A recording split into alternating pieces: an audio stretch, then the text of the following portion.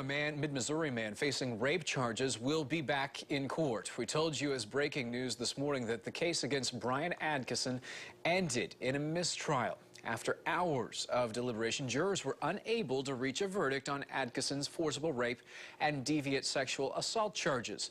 We now know he'll be back in court for those charges on January 19th. Adkison will also have another trial starting in February. He's facing kidnapping charges there. He's accused in the 2013 rape and kidnapping of his ex-girlfriend. Authorities say he then led them on a weeks-long manhunt. We may have